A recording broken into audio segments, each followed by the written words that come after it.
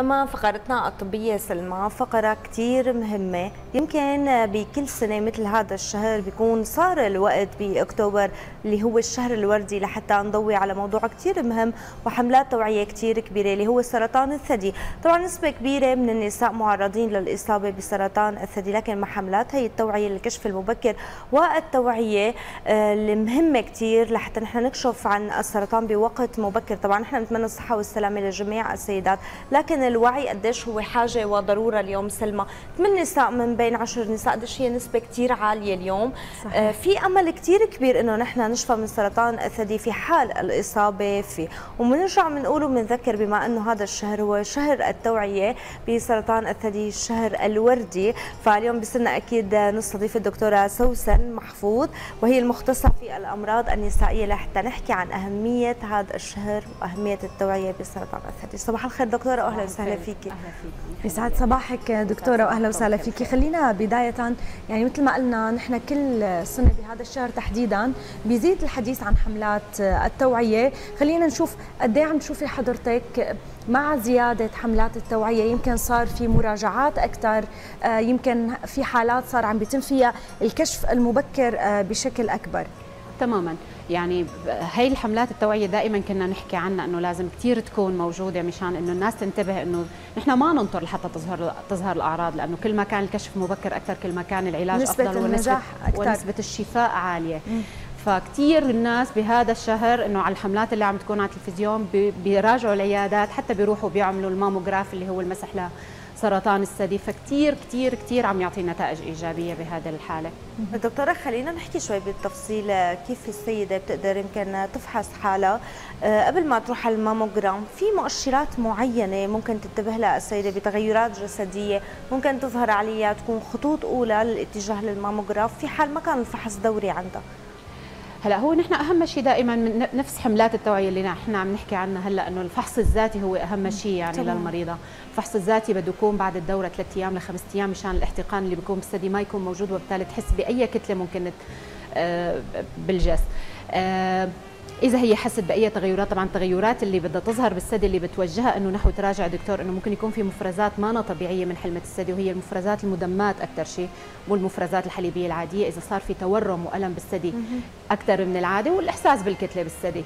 طبعا لحتى نوصل للإحساس بالكتلة بالثدي إنه وقتها مثل ما حكينا إنه فممكن نكون وصلنا لمراحل متقدمة. بس أي تغيرات بتلاحظها؟ احمرار تورم مفرزات دموية. طبعا المفرزات الدموية بأعمار صغيرة غالبا بتكون ناجمة عن التهاب بالأقنية الحليبية. كثير بنشوفها بالعيادات إنه بيراجعوا تخوف كثير كبير إنه أنا عم ينزل دم من حلمة الثدي. فإنه أغلب الحالات طبعا هي بمسحة صغيرة بناخذ من هيدي المفرزات وعلى التشريح المرضي. بتعطينا إنه هي التهاب بالأقنية. بنشوفها بأعمار صغيرة بس طبعا أكثر شيء التوجه بيكون بعد ال40 حكما حتى لو هيدا إنه عطتني إنه المسحة إنه okay إنه هي علامات التهابية فنحن لازم نوجه نحو إجراء ماموغرافي. نعم. كمان دكتورة يعني نحن بنعرف إنه سرطان الثدي من الأنواع اللي بتتناقل أيضا وراثيا فالقصة العائلية بهذا الموضوع كثير مهم.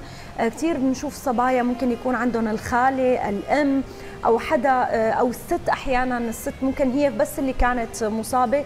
الجيل اللي بعده بيكون شوي مهمل الموضوع. خلينا نحكي عن أهمية آه، هذا العامل الوراثي بسرطان تماما. هلأ نحن ما عندنا سبب واضح لسرطان الثدي بس العامل الوراثي فعلا كثير بيلعب دور خصوصا القرابة الدرجة الأولى من جهة الأم العمه الخاله الست مثل ما قلتي لي. آه، أي مريضه عندها قرابة من الدرجة الأولى بنوجهها إنه اعتبارا من ال 35 سنة ما بننطر لعمر فوق ال 40 من ال 35 سنة لازم تبلش تعمل ايكو ثدي كل سنة ماموغرافي كل سنتين. بعد ال 40 حكما ماموغرافي كل سنة. فكتير الوراثة بتلعب دور. للأسف العادات الغذائية السيئة هلأ إنه زيادة الوزن نقص التمارين الرياضية. هدول كلهم كمان بيزيدوا من خطورة سرطان الثدي. فأهم شيء الوراثة بتلعب فعلا فيه دور هو وسرطان المبيض فدائما بنوجههم إنه أي قرابة درجة أولى حكما البدء بالمسح عن سرطان الثدي اعتبارا من عمر ال 35 سنة. دكتورة خلينا نحكي اليوم في أورام حميدة وفي أورام سرطانية إمتى بنقول نحن عن الورم أو أي تغير بالثدي ممكن يكون هو آه، ورم حميد آه، تطمن السيدة بين ما عملت كل الفحوصات والإجراءات شو هي المؤشرات؟ يعني هذا كثير سؤال مهم لأنه نحن كثير بيجونا أحيانا بنوتات وبأعمار صغيرة وب 18 سنة وب 20 سنة بإحساس حالة رعب دكتورة بأي تغيير تماما. يعني آه يعني بتيجي مرعوبة إنه أول شيء سرطان الثدي ما بيصيب الأعمار الصغيرة ولو إنه أحيانا هلأ عم نشوفه بأعمار حتى أصغر من قبل قبل قبل ال 50 ما كنا نشوفه هلأ بنشوفه بال 35 وأحيانا ب 32 سنة. كتلة الثدي هي أكثر شيء بتوجه إنه نحو إنه لا الخوف من إنه والله في شيء في شيء اسمه داء كيسي ليفي بيصيب الثدي فنحن بنشوف وقتها على الإيكو إنه هذا كيسة سليمة طبعا في مؤشرات عندي على الإيكو أو حتى على الماموجراف بتوجهني إنه هذا المرض سليم أو حميد. فهي ممكن تشكل أورام ليفية مثل ما بتتشكل بالرحم إنه ألياف بتكون موجودة بالثدي. هيدي حميدة. آه، أحيانا أثناء فترة الأرضاع بتتشكل عندي كيسات حليبية نتيجة توسع بالأقنية اللبنية. كمان هيدي كيسات سليمة. فنحن وقتها حسب العمر حسب المؤشرات عندي على الإيكو حسب المؤشرات على الماموجراف بنقول نحن فقط مراقبة ومتابعة. بس لما بتجينا هيك حالات بالأعمار الكبيرة أو عندي مؤشرات على الماموجراف إنه الحواف مانا سليمة المنظر مانو مريح في تكلسات فنحن بنوجه نحو استئصال وتشريح مرضي حكما أو حسب يعني الوضع نحن بنوجه نحو الجراحة.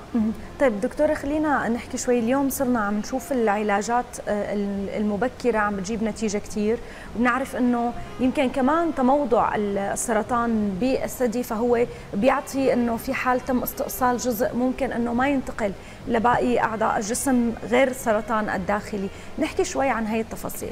هلا هلا نحن عم نحكي كنا إنه والله إنه الكشف المبكر كثير مهم بالعلاج ونسبة الشفاء، مم. لما بتجينا المريضه بمرحلة مبكرة طبعا حسب نوع السرطان ونوع الخلايا اللي موجودة فيه طبعا. والمرحلة وانتشاره أول ما بينتشر طبعا على العقد اللمفيه لهيك نحن كمان بنوجه إنه أثناء الفحص الذاتي للثدي يتم فحص تحت القبط إذا في عقد لمفيه ولا لا طبعا في علاج جراحي في علاج كيميائي في علاج هرموني في علاج شعاعي في حسب بقى المرحلة والنوع السرطان اللي موجود بس أكيد الكشف المبكر بيقود لنسبة شفاء كثير عالية. العلاج الجراحي بيتم أحيانا باستئصال جزئي أو استئصال تام للثدي حسب نوع المرحلة وبيتبعها بعدين علاج كيماوي أو علاج شعاعي مثل ما حكينا حسب نوع السرطان وحسب المرحلة اللي بهيدا. بيتم في تقييم كامل مع طبقه للجسم بنشوف في انتقالات ما في انتقالات حسب نوع الخلايا السرطانية وحسب المرحلة بيتم العلاج. دكتورة كثير بنسمع عن سيدات للأسف أصيبوا بسرطان الثدي لكن الفكرة خلينا نقول آه، جيدة أنه تم شفائهم بعد رحلة علاج. آه، نادرا ما نسمع عن بعض السيدات أو آه، أصيبوا يمكن بسرطان الدم لكن ما في علاج. خلينا نحكي شو الفرق بين سرطان الثدي وغيره من أنواع السرطانات من حيث استجابة الجسد للدواء وإمكانية العلاج. هلا الكشف المبكر فيه هو السبب اللي بيقود لنسبة هو السبب العلاج. الرئيسي السبب الرئيسي اللي بيقود لنسبة العلاج الشفاء العالية فيه. نحن مثل ما حكينا كل أنواع السرطانات أي سرطان إنه إذا تم الكشف بشكل متأخر وأنا عندي نقائل لمفاويه أو دموية طبعا حسب كمان نوع الخلايا السرطانية. فممكن يكون في تأخر لغزو الأوعية الدموية أو لغزو الأوعية اللمفاوية وبالتالي للانتشار. كل ما كان الغزو أقل كل ما كان نسبة الشفاء فيه عالية. فهذا اللي بيعطيه نسبة شفاء عالية. كمان دكتورة نحن دائما نحكي عن سرطان الثدي عن النساء وما الا إنه هو أيضا في حالات تصيب الرجال خلينا نحكي عن الفرق أيضا بالمعالجة والكشف وغيرها من هي التفاصيل. تماما. هلأ دائما إنه المشكلة إنه عند الرجال ما بيتوقعوا هذا الموضوع فبيكون الكشف فيه متأخر وبالتالي نسبة للأسف. الشفاء فيه أقل تماما. وهو لكن هو يصيب الرجال والنساء صح نسبة الإصابة عند الرجال أقل بكثير بس إنه مشكلة عدم توقع إنه والله أنا هذه الكتلة ممكن تكون سرطان ثدي فهي اللي بتأخر بالتشخيص وبالتالي بيتأخر العلاج وبالتالي نسبة الشفاء بتكون في أقل للأسف عند الرجال. فنحن كمان بننبههم أي إحساس بكتلة فإنه ما يعتبروها كتلة ليفية أو دهنية أو من الرياضة أو شيء فان يتوجهوا ويعملوا فحص يعني لهيدا لأنه الكشف المبكر بنرجع دائما الوراثة بتلعب دور أيضا عند الرجال مثل أيضا مثل النساء. أو الوراثة بتلعب دور أيضا. دكتورة كثير بنسمع اليوم عن عادات خاطئة بتؤدي للإصابة إن كان بسرطان الثدي أو غيره من أنواع السرطانات. خلينا نضوي آه، ويمكن الشغلات ما نكون منتبهين لها نحاول قدر الإمكان نحسن من حياتنا آه، لحتى نتجنب الإصابة. مثل ما بنقول نعمل اللي علينا والباقي على الله. فنحن شو المفروض نعمل بحياتنا؟ وشو هي الأخطاء اللي لازم نبعد عنها بشكل نهائي؟ تمام. هلا اهم شيء العادات الغذائية السيئة اللي عم تؤدي للبدانه نقص التمارين الرياضية التدخين الشديد التوتر الشديد كمان بيلعب للأسف دور لأنه بيزيد من موضوع التدخين بيزيد من العادات الغذائية السيئة بيزيد من زيادة الوزن بيزيد من قلة التمارين الرياضية. فهذه كلها بتزيد من نسبة خطورة السرطانات بكافة أنواعها. اي سن تنصحي دكتورة إنه نحن آه، نكشف بشكل دائم أو نجري آه، الماموغراف؟ قد إيه بتنصحي؟ هلأ فحص ذاتي يفضل من عمر 30 لأنه نحن حكينا هلأ عم نشوف للأسف سرطان الثدي بأعمار صغيرة. بس بالنسبة للفحص بالماموغراف طبعا بعد ال 40 هلأ إيكو بال 35 إذا فيها مثل ما حكينا إنه عامل يعني وراثي قرابة درجة أولى فنحن من ال 35 بنبلش بفحص دوري للثدي. إيكو كل ست أشهر أو كل سنة حسب نحن شو بنشوف بالإيكو. الماموغراف اعتبارا من ال 40 إذا كان عندي عامل آه، عوامل خطورة إنه الوزن العالي تناول موانع حمل هرمونية في ناس للأسف بصير عندي سن يأس باكر فهدول بيحتاجوا معالجة هرمونية معيضة يعني في المعالجه الهرمونية بتزيد من خطورة سرطان الثدي فهدول لازم يتعرضوا لمسح أبكر من غيرهم وإلا عادة من 45 بنبلش بماموغرافي مرة كل سنة مشان نتأكد إنه ما في لا سمح الله أي إصابة. دكتورة في كثير دراسات يعني كل فترة عم نشوف دراسات جديدة عم بتكون بالعالم لمحاوله فهم الخلية السرطانية مثل ما بيقولوا وتشكلها. البعض بيقول إنه بعض السيدات اللي بتتعالج لفترات طويلة كانت بأدوية هرمونية هي مؤهبة أكثر أو من عوامل الخطورة للإصابة بالسرطانات، حقيقة هذا الشيء على ارض الواقع. طبعا التعرض للموانع الحمل الهرمونية وخاصة الأستروجين لسنوات طويلة ومثل ما حكينا هلأ كمان في حالات عندنا بتيجي يأس باكر ممكن يصير عندي انقطاع طمس من عمر ال 35 طبعا هدول حكما لازم نعطيهم معالجة معيضة هرمونية لأنه معرضين أكثر للإصابة بترقق عظام ومشاكل أخرى نتيجة نقص هرمون الإستروجين. فهدول بدهم يكونوا آه، لازم يصير في عندهم مسح أكثر لسرطان الثدي. الإستروجين بيزيد من خطورة الخلايا السرطانية لأنه بيزيد من نمو هيدي الخلايا. طبعا دائما بنحكي إنه نمو الخلايا السرطانية إنه بدايتها ما ما ما مفسر يعني كيف بس إنه تماما. فبس إنه المعالجة الهرمونية لهيك بننصح اللي بتوا... بيتناولوا موانع حمل هرمونيه حب المانع فانه هدول المفروض يتعرضوا لمسح بعمر أبكر لأنه الإستروجين بيزيد من خطورة سرطان الثدي يزيد من خطورة لا يعني إنه يصيبهم بسرطان الثدي لأنه أحيانا بيجونا كثير على العياده إنه دكتورة أنا ما استرجيت آخذ حب المانع لأنه ممكن يعمل لي سرطان ثدي بزيد من الخطورة نحن فينا نحمي حالنا من هذا الموضوع بالمسح الدوري بممارسة التمارين الرياضية ابتعاد عن التدخين ابتعاد عن الغذاء العادات الغذائية السيئة السيئة الابتعاد عن التوتر. فنحن بنخفف من خطورة سرطان الثدي اللي عندهم عامل وراثي يفضل ما ياخذوا موانع الحمل الهرمونية. دكتورة حكينا بإشارة سريعة عن درجات العلاج ومراحل التطور. خلينا شوي نفصل للسيدة في حال الكشف المبكر ونشهد السيدة يمكن بإكتشاف هذا المرض ببدايته. ما تأخرت فيه. فكيف بيكون العلاج؟ آلية العلاج معه؟ هل بيكون العلاج دوائي؟ وين كيف مع تطور هذا المرض كيف بيتطور العلاج؟ هلا غالبا أول شيء بده يكون في استئصال جراحي للآفة. هلا ممكن نحن نعمل استئصال جزئي إذا كانت الآفة محدودة وإذا إجتني نتيجه حتى لو كان في كشف مبكر دكتورة بنضطر للاستئصال؟ إيه طبعا. طبعا. بالعكس الاستئصال هو الهيدا. ممكن ما نحتاج حتى علاج كيميائي أو حتى هرموني أو أو شعاعي بعد الاستئصال إذا كانت حواف الاستئصال سليمة وما عندي نقائل على العقد اللمفية. طبعا بده يكون في استئصال مثل ما حكينا. إذا كانت مبكره فنحن بنعمل استئصال جزئي حتى ما بيتم استئصال تام للثدي بنعمل تجريف للعقد اللمفية وبنشوف إذا ما عندي نقائل فهي غالبا كافية وبتصير متابعة دورية. إذا ما عاد ظهرت عندي أي علامات لنقص فإنه بتكون العلاج كافي. مع الاستئصال في أدوية دكتورة بالكشف المبكر؟ تماما. هلأ لما بيكون عندي أنا إنه والله إجت حواف الاستئصال أو أو حسب يعني أحيانا بنضطر إذا كانت الكتلة كبيرة ناخذ خزعة بالإبرة ونحن بنشوف قبل ما ندخل على العمل الجراحي أو في شيء اسمه خزعة يعني سريعة. نحن على طاولة العمل الجراحي ونحن عم هيدا بنبعث خزعة بتجيني النتائج خلال آه، ربع ساعة نص ساعة. فنحن وقتها بنشوف إنه حسب نوع الخلايا السرطانية وحسب التوقع إنه ممكن يكون في عندي انتشار فبنعمل استئصال جراحي تام مع تجريف للعقد اللمفية. بتتم المتابعة بعدين آه إنه نحن في غزو بالإستئصال للأوعية اللمفية أو للأوعية الدموية فحكما بدها تخضع لعلاج كيميائي. طبعا مع مسح دوري بطبقة محوري للصدر وللبطن إنه أنا ما عندي نقائل أوكي الوضع سليم حتى ما عندي نقائل بمنطقة الإستئصال الجراحي. فبنخلص كورسات العلاج الكيميائي وبيعتمد بعدها على علاج أحيانا بالتاموكسيفين بنحطه على سنة وسنتين وخمس سنين. مع المسح الدوري كل سنة إنه أنا ما عندي نقائل خلص إنه okay صارت نسبة الشفاء تامة.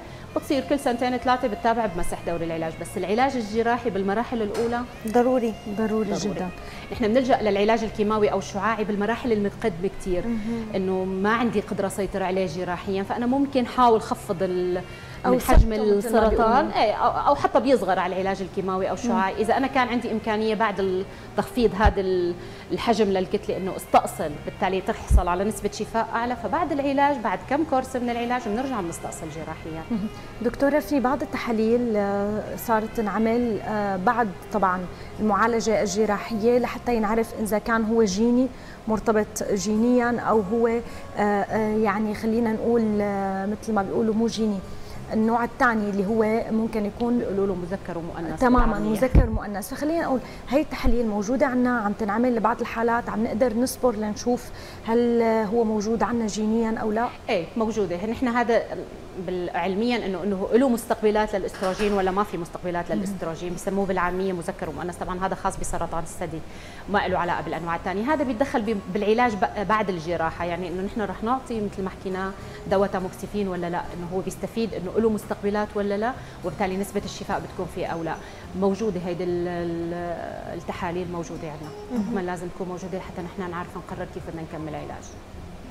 دكتورة يعني بعد رحلة العلاج مثل ما بنقول بعد هذا الوعي آه، في حال تعرضت لعلاج كيماوي أو لم تتعرض اليوم فينا نطمن السيدات أنه الشفاء ممكن يكون بشكل كامل للسيدة. فينا نضمن عدم عودة السرطان بسنوات مقبلة إذا قلنا في حال تقيدت السيدة طبعا بالمراجعة الدورية وبكل تعليمات الطبيب. يعني صراحة شفنا بهاي الفترة خصوصا بعد التوعية الكثير اللي عم بتصير عن سرطان الثدي كثير نسبة شفاء عالية. يعني حتى في حالات تعرضوا لعلاج كيماوي طبعا العلاج الكيماوي والشعاعي ممكن يأثر على إنتاج المبيضين لل للبيوض وبالتالي إنه ممكن يأثر على الحمل مستقبلا شفنا سيدات بأعمار شوي كبيرة وصابن سرطان ثدي وهن عازبات ورجعوا شفاء تام وتزوجوا وصار في إنجاب. طبعا الرضاعه الطبيعيه بنرجع بنحكي كمان كثير بتحمي من سرطان الثدي طبعا اتباع التعليمات والمتابعة الدورية الدائمة كثير بتقلل من نسبة النقص.